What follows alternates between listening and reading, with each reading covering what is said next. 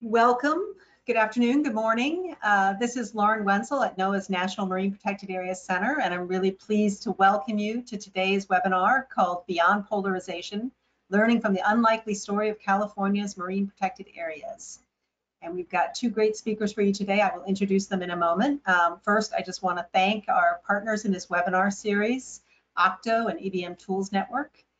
Um, and as I think many of you know who've participated in these, we're going to have a presentation and then we will have plenty of time for Q&A and questions and comments that you may have. So please use the comments box to um, go ahead and put your questions in there and we will get to those after the speakers have uh, finished their presentations. And as always, the presentation is being recorded and will be posted on the Open Channels website. So now it's my pleasure to introduce our two speakers today, Steve Yaffee from the University of Michigan School of, for Environment and Sustainability, and Kaitilin Gaffney from the Resources Legacy Fund. Steve Yaffee is a professor of natural resources and environmental policy at the University of Michigan. For more than 40 years, he had worked on policies promoting large-scale conservation and ecosystem management, as well as the design and management of collaborative decision-making approaches. He is the author or co-author of six books, including a 2000 classic co-authored with Julia Wondolleck, Making Collaboration Work, and a 2017 book that explored 12 case studies of marine ecosystem-based management in North America.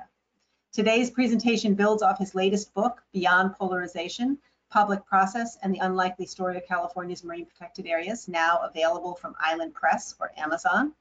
Dr. Yaffee received his PhD in Environmental Policy and Planning from Massachusetts Institute of Technology. And he's also a former professor of mine. Uh, Kaitilin Gaffney is the Ocean Coast and Fisheries Program Director at the Resources Legacy Fund, or RLF. It is a nonprofit 501c3 organization that works closely with philanthropists to advance conservation of land, ocean, and water resources, climate change resilience, and conservation funding and policies, and was the philanthropic partner to the state of California during the Marine Life Protection Act initiative that led to the establishment of the state's MPA network. Over the past eight years, Kaitilin has managed a philanthropic pooled fund that helps to support stewardship of California's Marine Protected Area Network. Before joining RLF, she was the Pacific Program Director for Ocean Conservancy, where she served on the Marine Life Protection Act Central Coast Regional Stakeholder Group and the North Central Coast Statewide Interest Group. She also represented conservation interests on the Monterey Bay National Marine Sanctuary Advisory Council for eight years. So now it's my pleasure to turn it over to our speakers, uh, and we'll start with you, Steve. Thanks. Okay, thank you, Lauren, uh, and thanks to Sarah Carr and the organizers from the EBM Tools Network and the other uh, sponsors. Um, good afternoon or good morning or good evening, wherever you are. Uh, I'm going to talk about what was, um, after more than 10 years of hard work, a successful effort to designate and implement uh, marine protected areas in California state waters. And central to its success was the creation of a unique public-private partnership involving the California philanthropic community and California state agencies. Um, the partnership in turn built a broad coalition of stakeholders, scientists, and policymakers and created a process that managed a huge amount of conflict. And in a time when polarization appears to be a daily fact of life, in case you've noticed, um, the MLPA story, the Marine Life Protection Act story, really provides, I think, a counter narrative uh, where a set of really diverse people came together and succeeded in accomplishing something big. Uh, and they did it in spite of public sector fiscal crisis and in spite of seemingly irreconcilable conflicts, some in involving some fundamental issues around tribal sovereignty and justice issues and others. Uh, a lot of hard work, uh, but I think it actually is a, a, a hopeful story uh, given our times. Our presentation, Kaitilin and my presentation, um, today are going to briefly answer these five questions. Um, so what did the process accomplish? Uh, why do why do I call the process unlikely? So why does success unlikely? Uh, what enabled uh, progress? How did the partnership shift uh, business as usual when business as usual was not good enough? Um, and how has the implementation activities since the designations ended in 2012, how did have they built on the foundation of the designation process?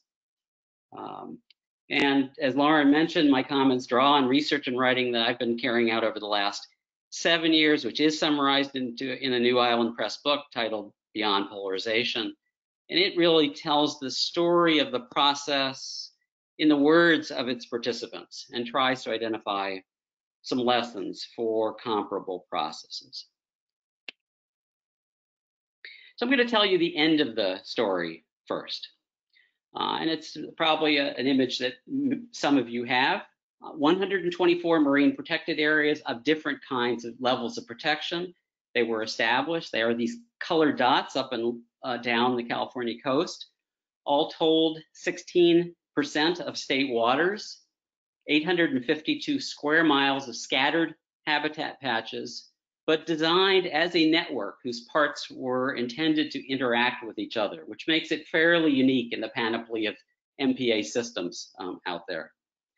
Um, and there are some pretty spectacular places among these patches uh, that are now being branded and uh, used as underwater wilderness, underwater parks. And not just MPAs were created. Um, for a state that had never figured out how to deal with tribes as something other than a stakeholder group, uh, which was an insulting uh, term and image to the tribes, um, the process resulted in policy and organizational changes that recognize the sovereign and unique status of tribes. And Kaitilin will tell you more about this. The process moved through four sequential regional planning processes starting in 2004 and ending in 2012. And to enable the stakeholders to collectively design a network, they needed user-friendly uh, GIS, Geographic Information System based decision support tools. And from that need came development of some pretty innovative tools uh, such as Marine Map and Sea Sketch. An extensive monitoring education network has been created after the designations involving citizens and collaborative groups up and down the coast. And the process has also helped to trigger organizational change um, in state agencies, which involved updating and expanding expertise, uh, evolving at least somewhat from a fisheries biology to an ecosystem ecology frame, and I think that emblematic of that transformation was a shift in the name from the Cal Department of Fish and Game to the Department of Fish and Wildlife. Now it's easy to look backwards from 2020 and see a situation as a given. Hindsight is 2020. But from the vantage point of 2003, it was incredibly unlikely that this effort would come to fruition. The state had already failed twice. The MLPA, the Marine Life Protection Act, had passed in 1999. Uh, it required the state to act. And in their first attempt, uh, state convened panel of scientists drafted a map with no stakeholder input. And not surprisingly, all hell broke loose when they shared it. So then they move on and they created seven parallel regional stakeholder processes and then ran out of money and willpower after two meetings were held of each of those processes. So trying to find the balance between too cold and too hot uh, was tough. And by 2003, the effort was just about dead. The issue of marine reserves is full of seemingly intractable conflict with really well entrenched political interests, uh, commercial fishing versus sport fishing, fishing versus conservation. In California's waters, um, much of the coast, they was seen as property owned by a current set of users, and to set aside any of that as reserves would be a major battle. Plus, um, sport fishing is a big uh, money-making business that politically aspires to be as organized as the National Rifle Association. Um, and new set-asides would really create a bad precedent um, for other places away from California. The MLPA was signed in 1999 at the end of the tech bubble, which burst five months later, and California suffered a recession through 2003, which then bogged down the MLPA process. Uh, the process finally gets some traction in 2004 and was at the end of a second regional effort and the beginning of a third, right when Lehman Brothers failed in 2008. Not the best timing here. The California economy went off the cliff. Uh, the MLPA was a law pushed by Democratic legislators from coastal districts and signed by Democratic Governor Gray Davis. But its implementation required support from Republican Arnold Schwarzenegger and his administration, setting up a potentially partisan battle uh, for the orphan MLPA process. And many things were not known about MPAs in the early 2000s.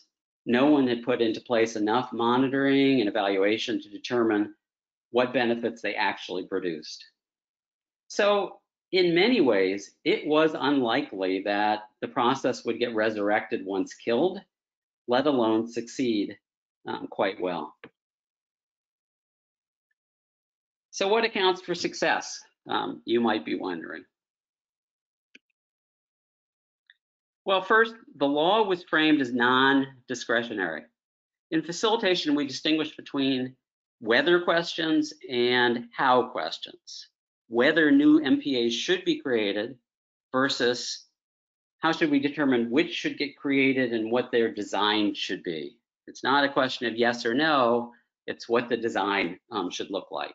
And the MLPA in this case settled the whether question. It said that there would be MPAs designated. And while fisheries interests tried to relitigate whether, whether new MPAs were needed throughout the first regional process, uh, their arguments could be set aside because the leadership of the process kept reminding opponents that, quote, the law uh, makes us do it this way. Among other features of the law, ecosystem protection was a clear priority. Minimizing economic impacts was not required which also limited the power of opponents of MPAs. Minimizing economic impacts was a political need, but it was not a legal requirement. The designers, so here's a second factor. The designers of the process also created a really unique structure that not only convened regional stakeholder processes that were advised by science panels, scientific advisory panels, which is sort of a normal part of collaborative processes.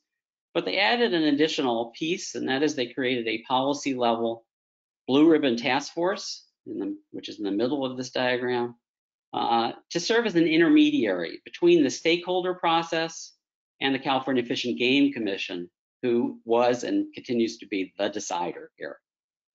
And not only did it insulate both sides from each other, but it provided uh, pre-negotiated proposals to the commission, which then made them hard to ignore or hard to um, for them to take seriously, not not to take seriously.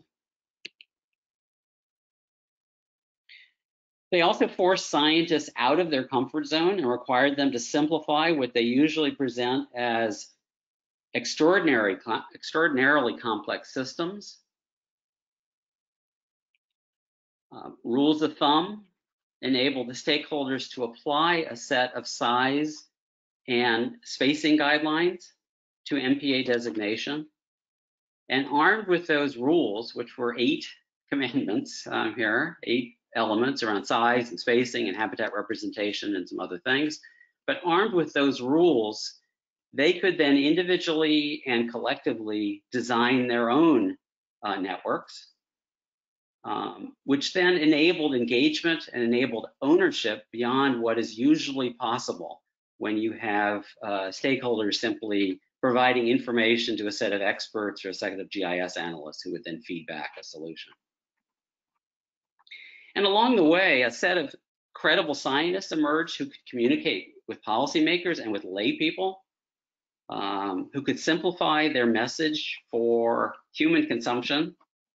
These are the, the Dr. Fauci's of, of the MLPA process, I guess.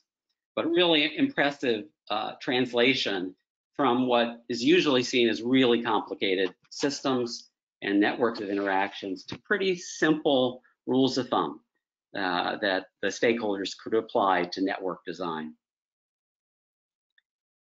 The process benefited also from the mandate in the law to use best readily available science, um, which cut down the opponent's ability to filibuster based on simply demanding for more and more information because all that was required is really all that's often available, and that's best readily available science.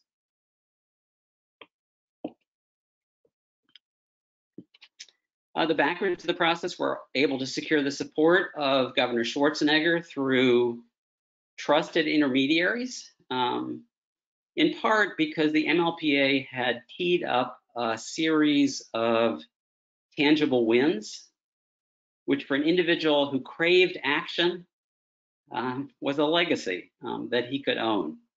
And getting the process done within Schwarzenegger's eight years became a constant refrain um, because the organizers of this and the supporters of MPAs recognized the importance of political will and we're never quite sure what happens after a leader had embraced this process and a new leader takes over, a new governor would take over. Having $35 million in private philanthropic money from the Packard, Moore, and other uh, foundations certainly didn't hurt. Um, but it's really what that money went to that's what's really critical here and transformative. Um, that level of support enabled them to invest in good process.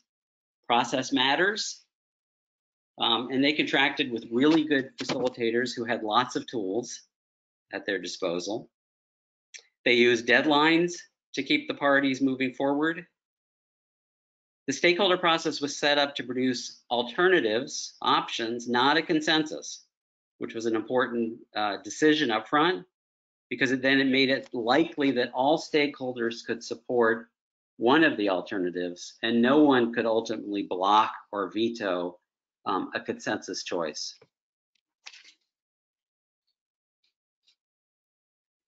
Now you can imagine a collaborative problem solving process is going through these four stages that are listed here from sort of getting started through introductions and agenda setting, through a robust process of identifying and exploring issues, um, through efforts to generate options and evaluate them, and then finally to creating packages that incorporate trade-offs. And the facilitators move through this very deliberate stepwise process, adapting over time, making mistakes at time, recovering at time, um, but changing uh, according to the conditions and to the conditions of the specific regions, the four different regions where it was appropriate.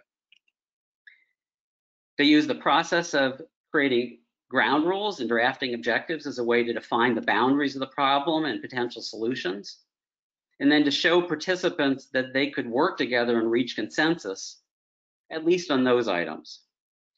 And that was important. Some of it's sort of pro forma in a collaborative process, but it became really important in this case because it it allowed for the, the sort of creation of a proxy for the parties' underlying conflicts. That is, that during the discussion of ground rules and goals of objectives, particularly in the first regional process, there was an airing of grievances that allowed the sort of bad feelings to at least come out and be exposed and be acknowledged and emotions be acknowledged ahead of the real work of MPA designation.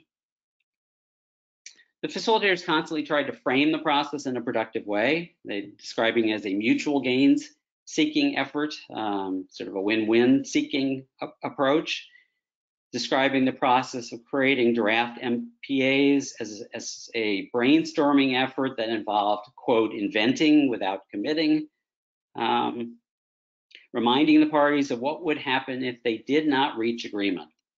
This is an important element. Uh, this is their BATNA, their best alternative to a negotiated agreement for those familiar with negotiation terminology. Um, but constantly reminding what would happen if the stakeholders could not negotiate on their own, that they would get elevated to the Blue Ribbon Task Force or the Game and Fish Commission, both of which the stakeholders didn't trust to make the choice, incentivize them to try to stay at the table and work things out. Sometimes this worked, sometimes not, but at times it created a much more productive interchange than if the process was viewed in the way that the stakeholders initially saw it, um, which was as a zero sum sort of win lose situation. A major amount of time was spent on collaborative learning, where extensive presentations and opportunities for discussion were provided to build an informed understanding of the science and the multiple values at stake in the many different places along the California coast. And if nothing else, and I've watched uh, many, many hundreds of hours of, of public meetings and then talked to people afterwards, but this led to a dialogue that exhibited a level of understanding of facts and values at stake that is just really rare um, today. As many as 64 stakeholder representatives were at the table, which those of you that facilitate processes will tear your hair out when hearing that. Um, so the facilitators had to manage all that complexity. They used subgroups for a lot of the work.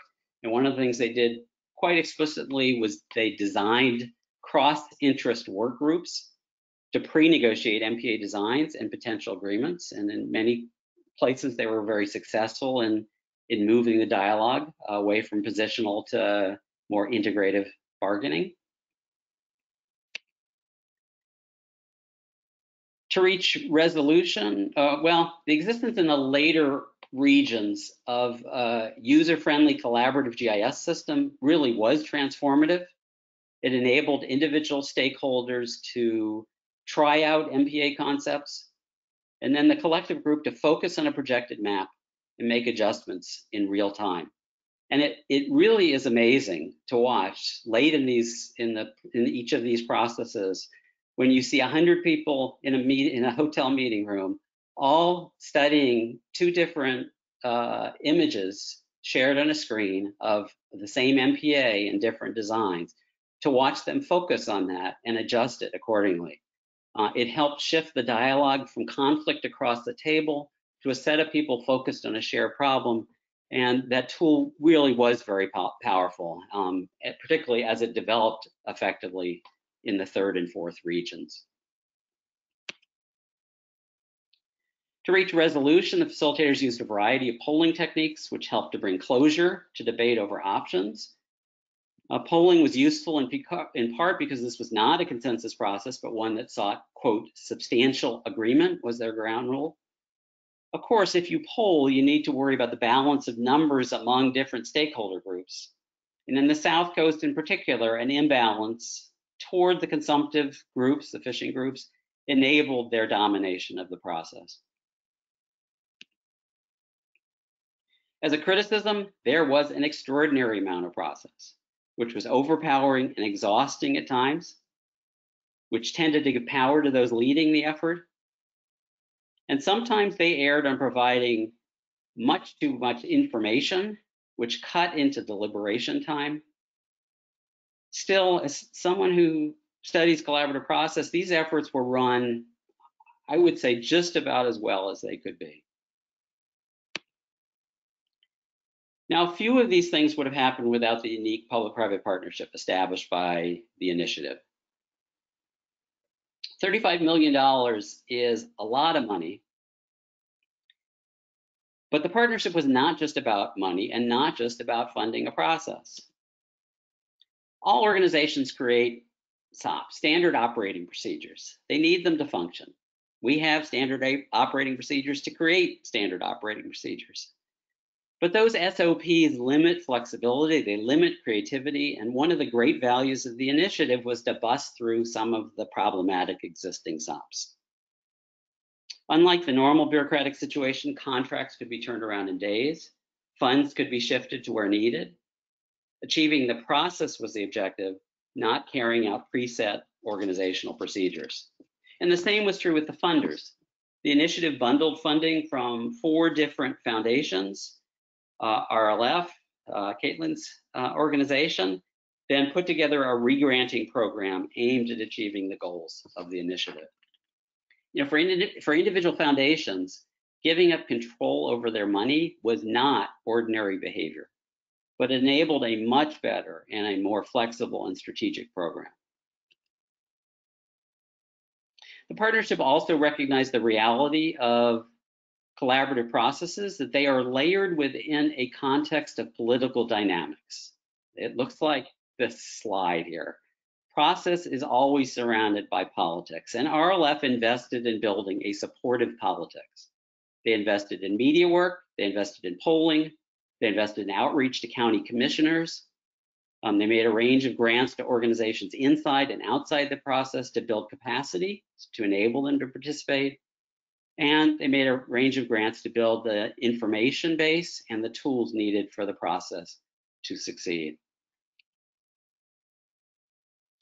The funders also clearly wanted something for their money. Um, where agency success is often defined as spending your budget so that you get more money in the next cycle. Uh, the funders wanted to see impact. They wanted to see a process that would end with a network of MPAs in place.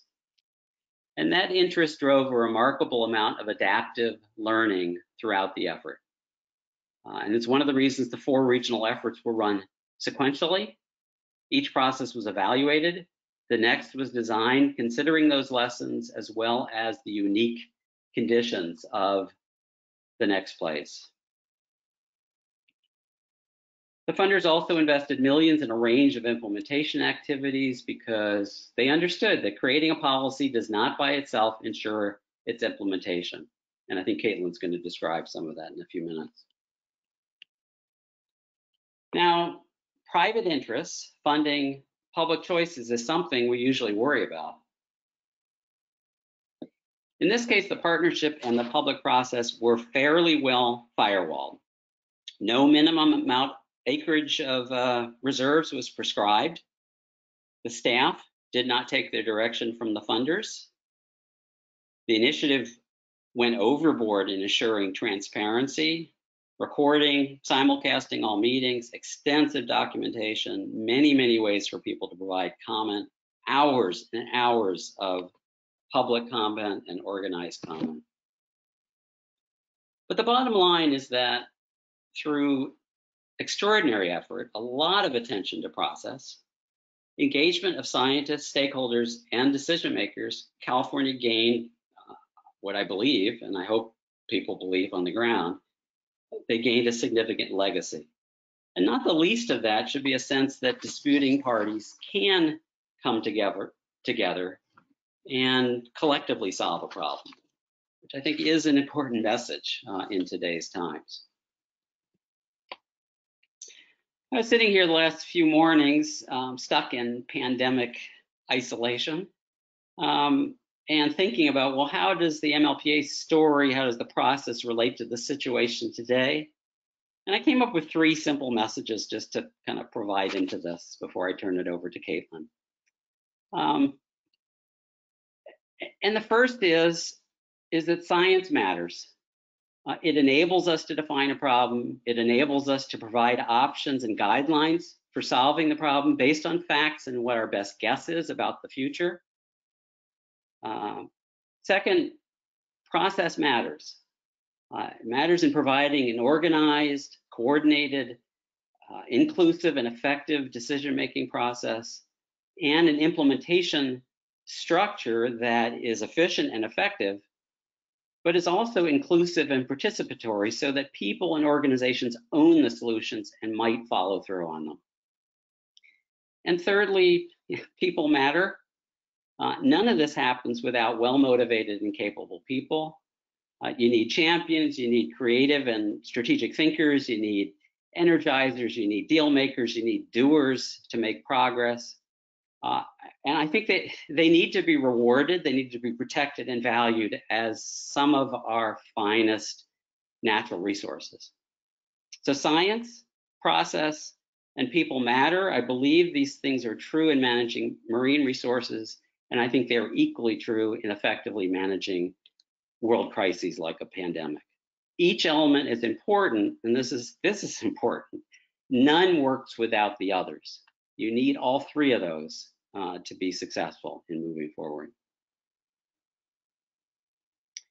So I'm going to turn it over to Kaitilin. Um, uh, but I want to note that if you want to learn more about the MLPA process, um, you can read about it in great detail. Um, my book, Beyond Polarization, Public Process and the Unlikely Story of California's Marine Protected Areas is listed on Amazon and Island Press's sites. And if you use the promo code webinar on the Island Press site, you'll get 30% off, uh, which is probably a pretty good deal. Uh, but the book does draw dialogue from the public meetings and from about 150 hours of interviews with a variety of participants so that my hope was to tell this as a story. It is a story of a piece of policy, which is kind of a strange wonky thing, but it is a story with personalities and tensions uh, and resolutions. It's a long narrative, but I, I hope it, it, you'll see it as an analytic one that focuses on the strategic choices made by facilitators and process leaders and what their effects were, were both good and bad. And just while I'm here, I just want to highlight another tool that we built along the way to help anyone understand um, collaborative processes better. And this is a website about collaborative public decision making, where what we did was to extract video clips from the MLPA initiative, from all the facilitation that went on there. Uh, and we organize them along the line of about 80 different facilitation tasks and challenges so that we provide some bullet point uh, lessons about them and people can watch uh, a facilitator generally or stakeholders actually doing the task. So I invite you to use it and the web address is here. Kaitilin's going to highlight these at the end, other ways to sort of learn more about it at the end of her talk so that you'll see these links again uh, while we're answering questions. So thank you for listening. Presumably you're still out there and I will turn it over to Kaitilin. Thank you, Steve. Okay, I'm making Kaitilin presenter. Yep. All right. Well, thank you so much um, for that terrific um, introduction and description of the extraordinarily comprehensive um, book that, that Professor Yaffee has um, produced. I, I, hope everyone will get a copy um, and, and, and read it. It provides truly a comprehensive account of the 13-year effort that led to completion of the first statewide MPA network um, in the US in December of 2012. Um, and while completing the MPA design phase was certainly a major feat, it was also only the beginning.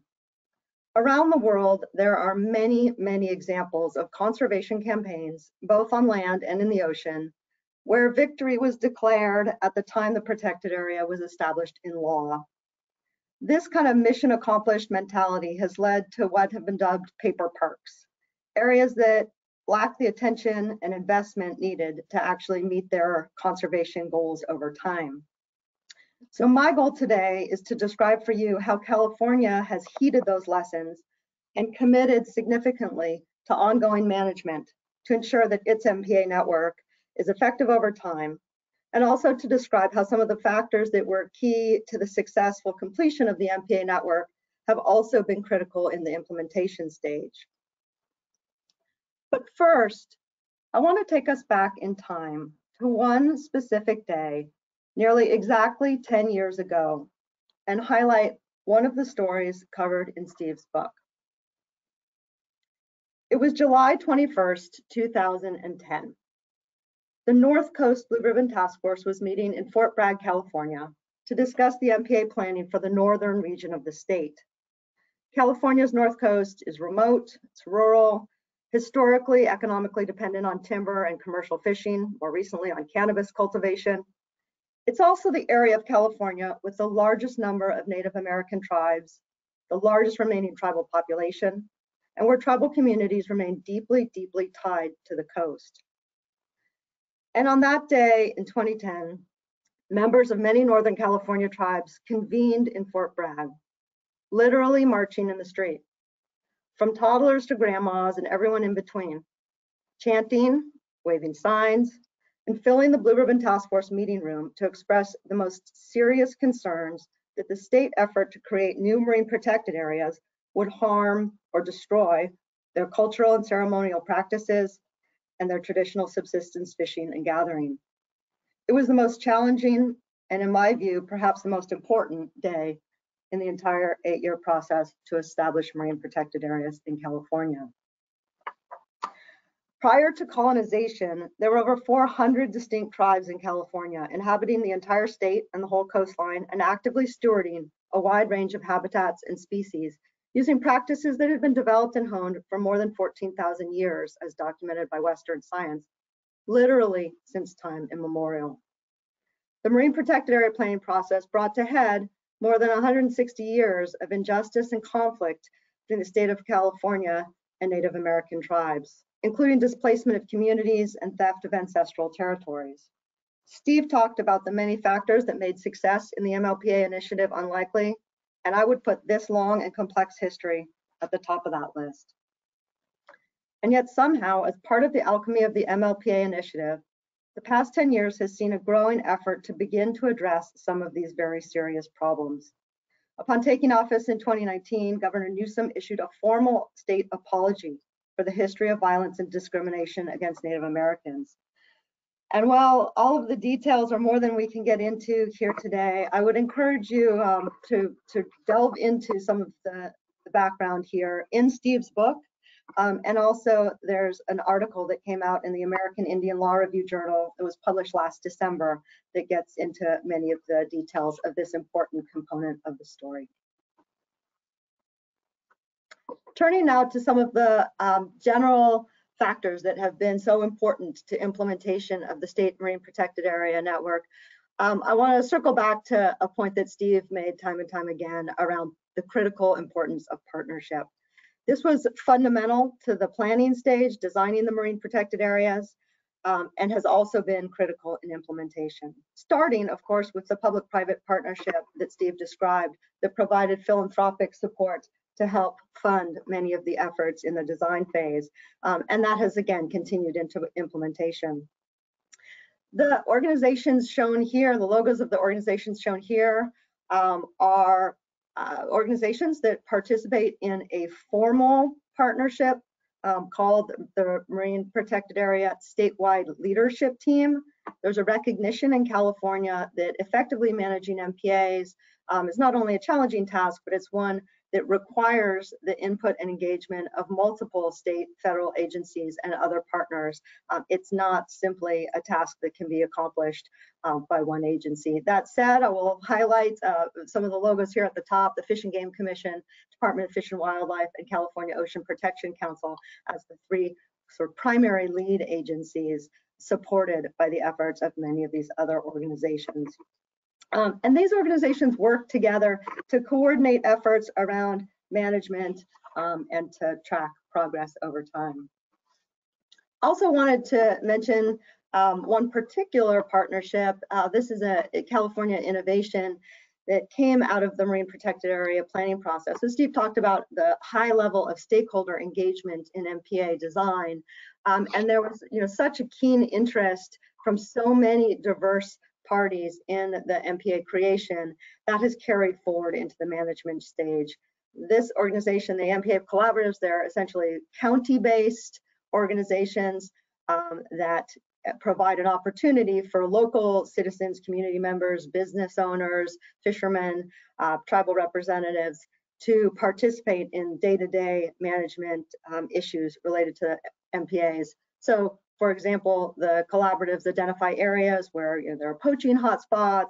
Um, they help develop materials that are focused on meeting local needs and addressing local audiences um, and engage in many, many other ways. Just as the MPA design process was, you know, sort of quite formal and organized in its approach, um, California has taken very seriously uh, the need to have a comprehensive and coordinated management plan um, and process for management. So in 2016, the state officially adopted what they call the Marine Protected Area Master Plan um, that includes the four component areas that you see highlighted here. Um, and since that time has adopted two separate three-year work plans that detail kind of the more specific actions, outcomes, deadlines, um, and assign tasks to the various agency and external partners to make sure that management is actually moving forward um, in effective and measurable ways. Of course, enforcement is one critical component of making sure that the, uh, you know, any protected area is effective over time. You know, California has a thousand miles of coastline, 36 million people and growing, um, and 124 marine protected areas. So ensuring that folks know the rules and regulations and follow them is um, no simple task.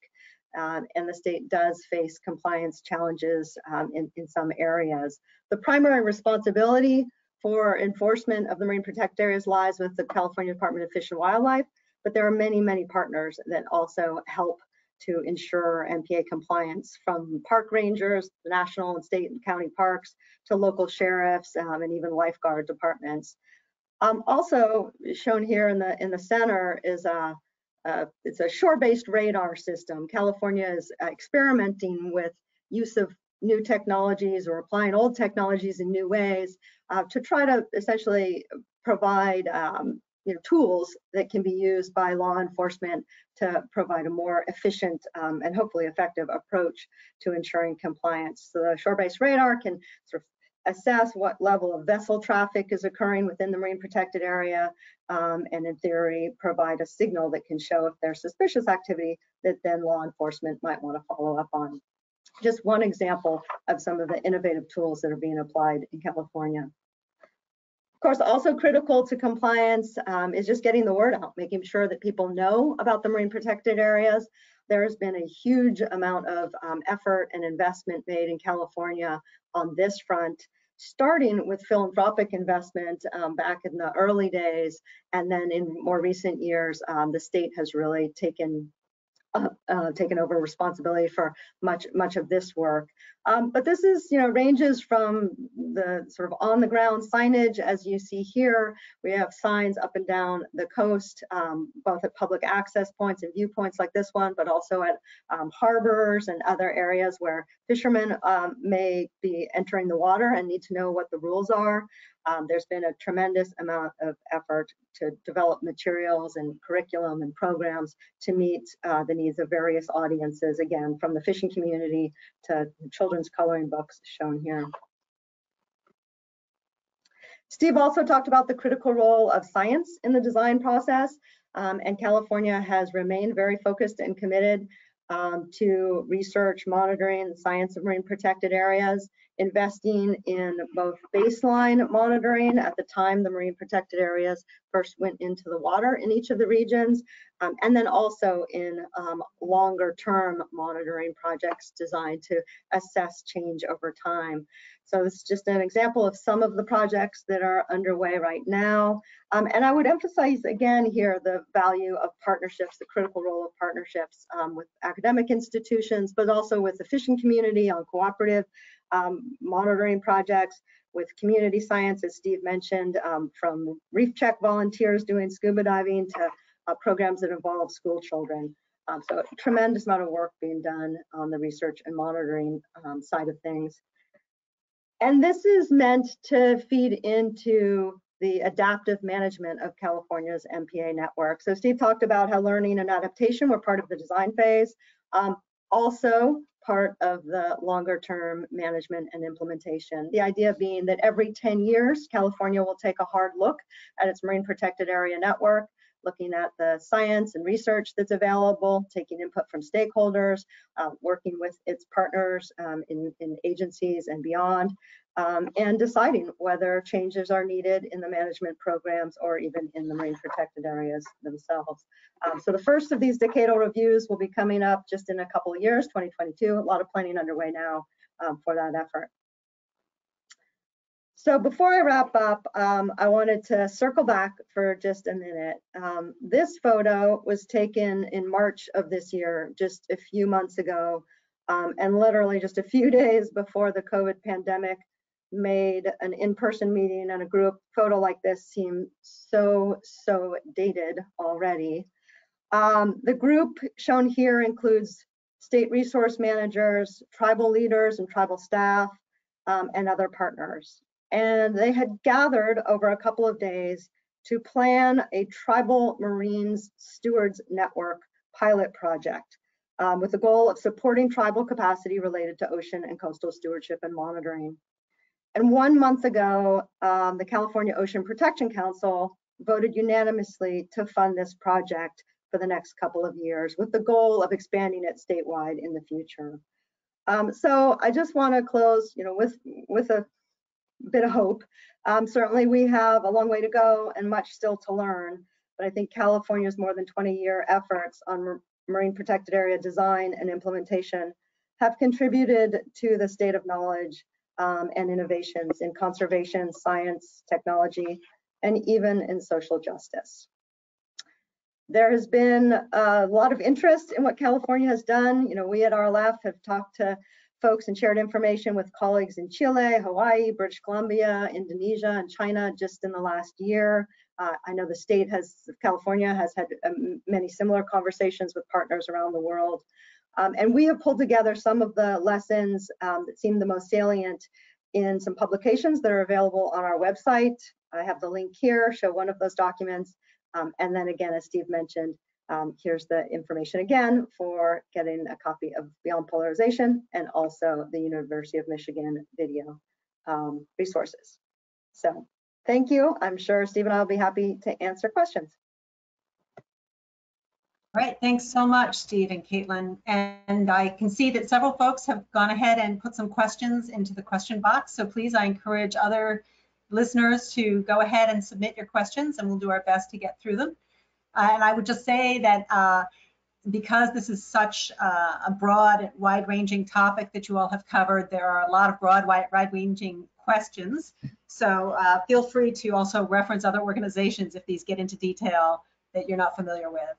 Um, so Nancy Crusoe asks about restoration, and I think a couple of these questions have to do with the changing conditions of the California Ocean. She mentions that um, restoration is not really addressed in the State Marine Conservation Area Code, and it's a, an oversight and has caused problems uh, following Santa Barbara oil spill in 2015 and with the collapse of kelp forests in Monterey and further north uh, that have caused uh, difficulties in conducting restoration. Uh, and either of you able to comment on that? Well, I, I, it certainly depends on the restoration effort, I would say. Um, you know, the marine protected area regulations are quite strict. Um, and so, you know, if you're planning a project that's within a state marine protected area, um, there is going to be significantly greater attention paid to that project um, and you know desire to ensure that there are no unintended consequences associated with the with the effort. Um, that said, there are restoration projects that are occurring within marine protected areas, so it's not it's not that it can't be done, um, but certainly the bar is high.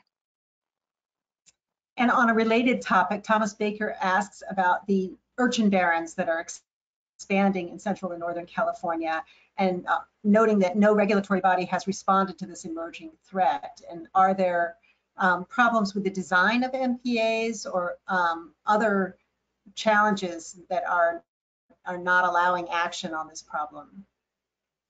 So the issue with urchin barrens is not specifically a marine protected area issue at all. It is an issue that is uh, facing you know large areas of the California coast, including areas that you know contain marine protected areas.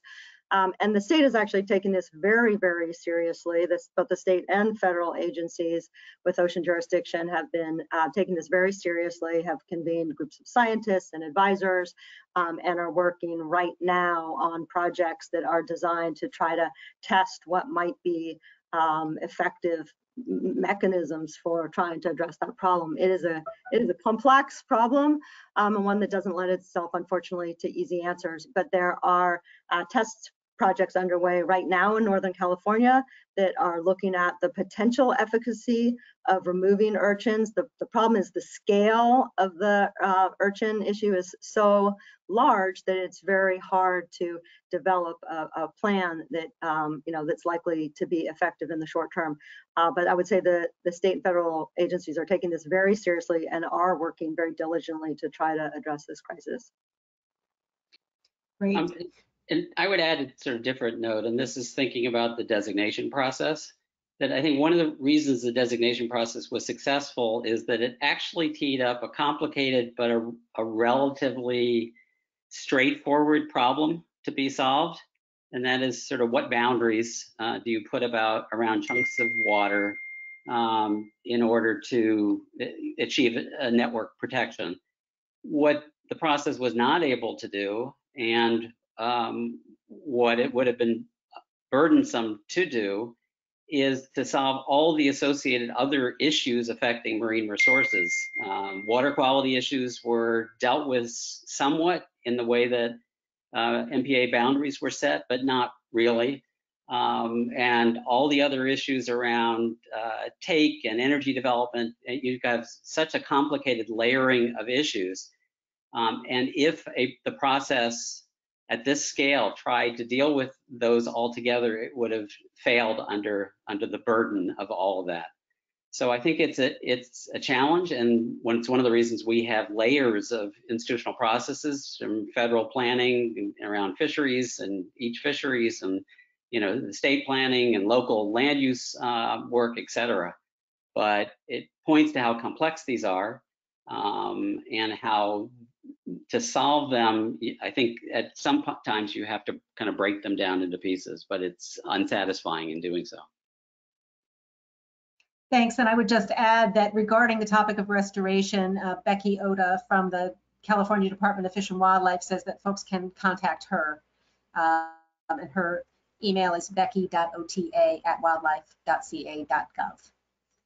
Um, so there are a couple of questions uh, that are very big picture, kind of touch on the, the whole theme of what you both have discussed, um, having to do with how replicable this process is and what other countries and, and regions can learn from it, and particularly for developing countries that may be more uh, resource limited.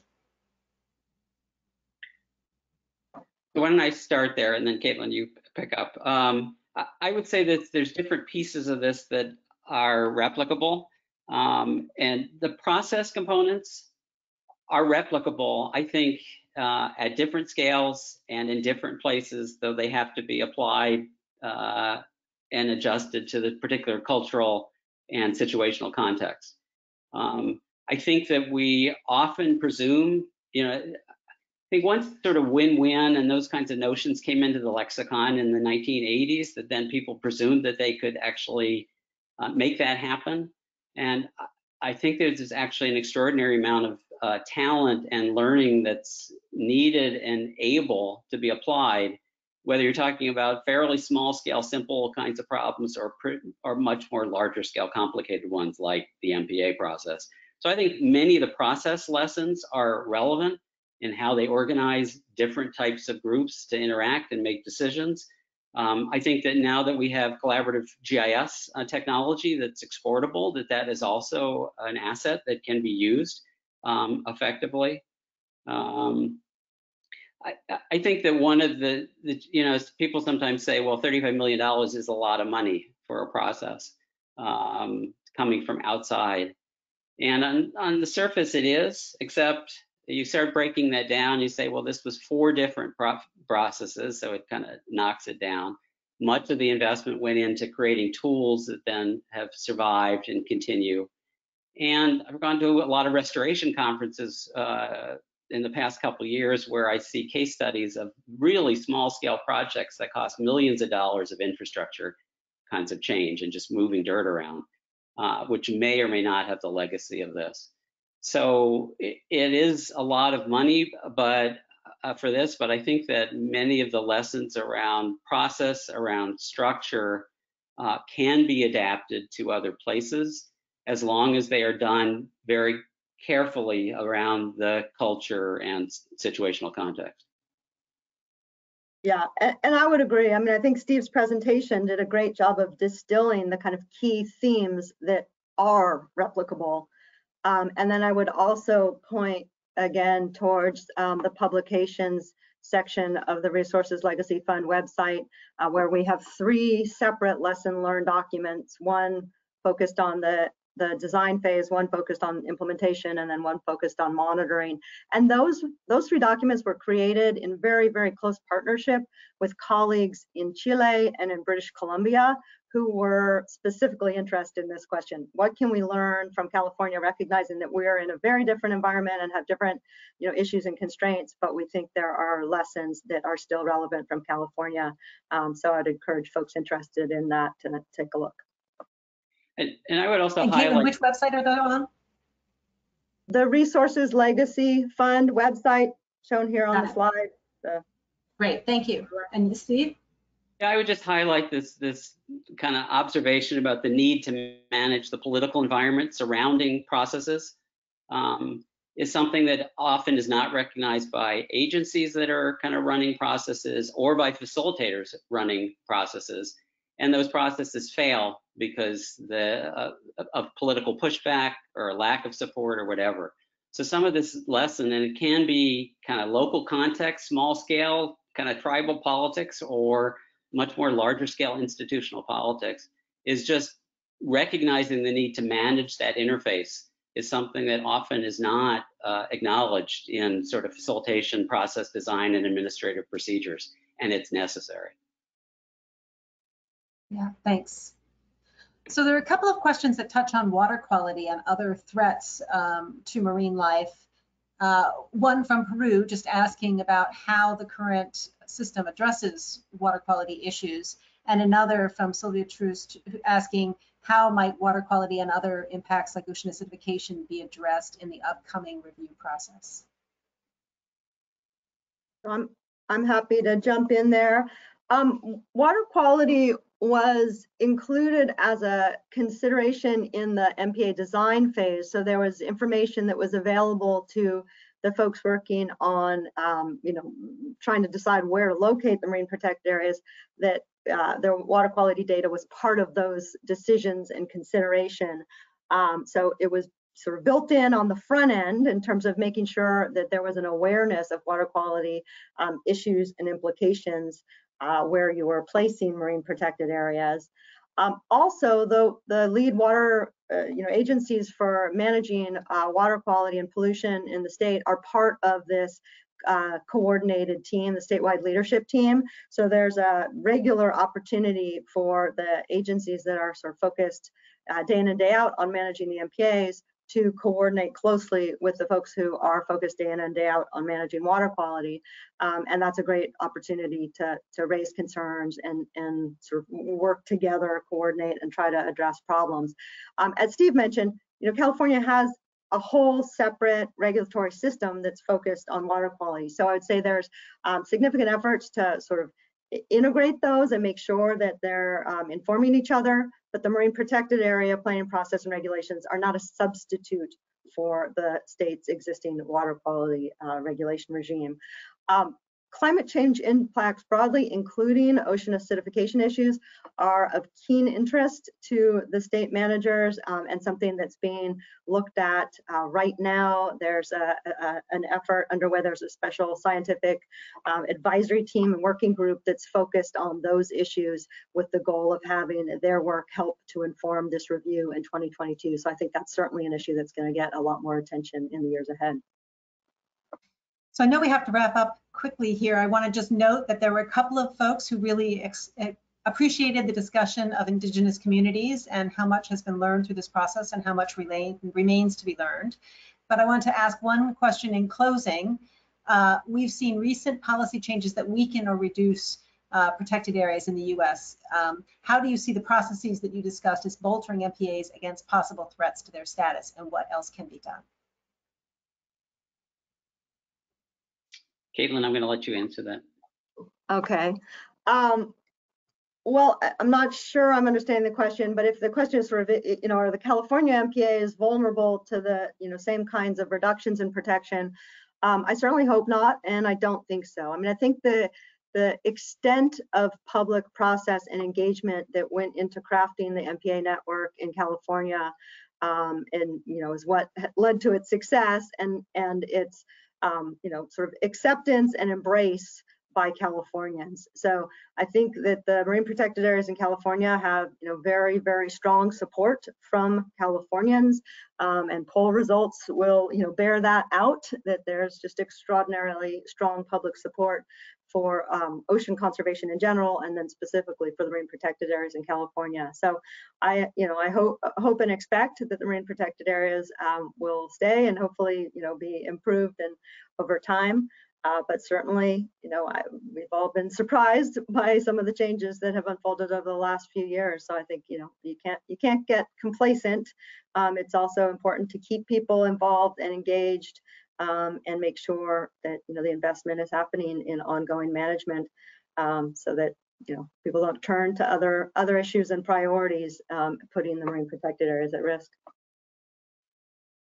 All right, well, I just want to thank you both for a great session. Uh, Lots of thought-provoking ideas. We did not get to every question. We will pass them on to our speakers and some of the ones that are very specific, you may get some follow-up from the speakers.